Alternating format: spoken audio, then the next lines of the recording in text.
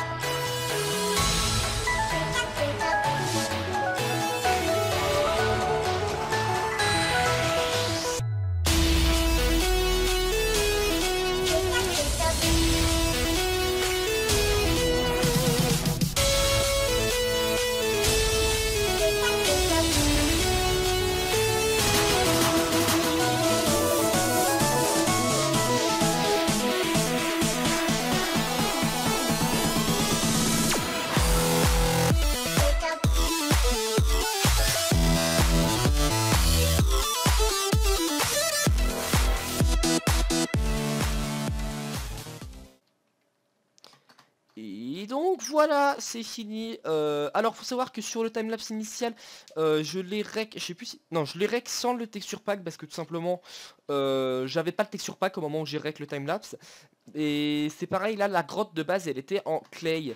en clay, clay, clay, c'était un clay classique, hein, c'était... Je vais vous la retrouver. terre cuite comme ça. Voilà. Euh, le truc c'est que je trouve, parce que en fait de base sur la vraie map, que je vais vous afficher maintenant à l'écran, euh, sur la vraie map c'était tout simplement euh, plus brun, c'est de la pierre brune, et j'avais pas de quoi faire la même chose en fait. Du coup je me suis dit, je vais plutôt le faire en cobble comme ça, je trouve ça plus beau. Dites-moi ce que vous en pensez, si vous préférez en clay ou en cobble.